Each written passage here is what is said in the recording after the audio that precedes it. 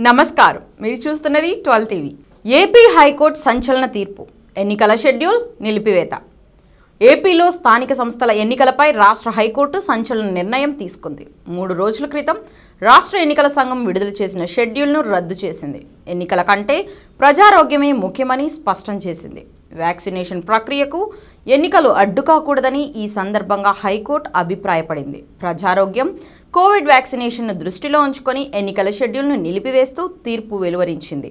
ఎన్నికల నిర్వహణకు వ్యతిరేకంగా ఏపీ ప్రభుత్వం దాఖలు చేసిన పిటిషన్పై విచారించిన హైకోర్టు ఈ మేరకు తీర్పును వెల్లడించింది. వాస్తవానికి స్థానిక సంస్థల ఎన్నికల నిర్వహణకు ఏపీ ప్రభుత్వం ముందు నుంచి విముఖత వ్యక్తం చేస్తోంది.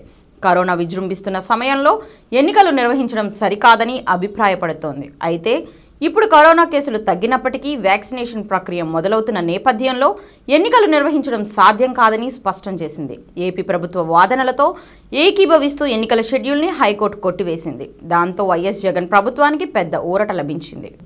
రాష్ట్ర ఎన్నికల సంఘం జనవరి ఎనిమిదిన షెడ్యూల్ను విడుదల చేసిన విషయం తెలిసిందే.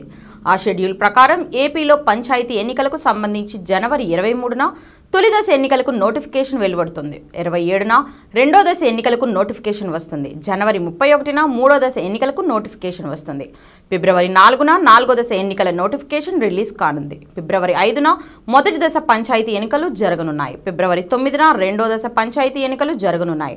ఫిబ్రవరి పదమూడున మూడో దశ పంచాయతీ ఎన్నికలు జరగనున్నాయి. ఫిబ్రవరి పదిహేడున నాలుగో దశ పంచాయతీ ఎన్నికలు జరగనున్నాయి. అయితే రాష్ట్రంలో స్థానిక సంస్థలు ఎన్నికలను ఇప్పట్లో నిర్వహించడం సాధ్యం కాదని ప్రభుత్వం స్పష్టం చేసింది.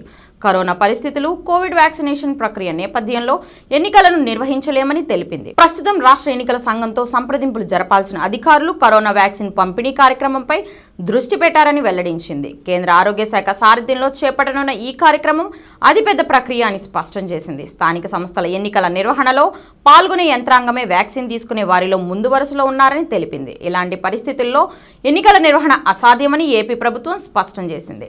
అంతేకాదు ఎన్నికల సంఘం షెడ్యూల్ను సవాల్ చేస్తూ హైకోర్టును ఆశ్రయించింది ఏపీ సర్కార్.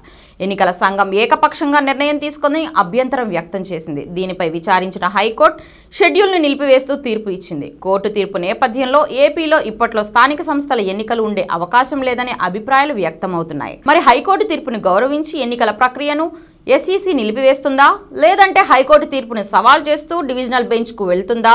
లేదంటే సుప్రీంకోర్టుకు వెళ్తుందా? అన్నది హాట్ టాపిక్గా మారింది.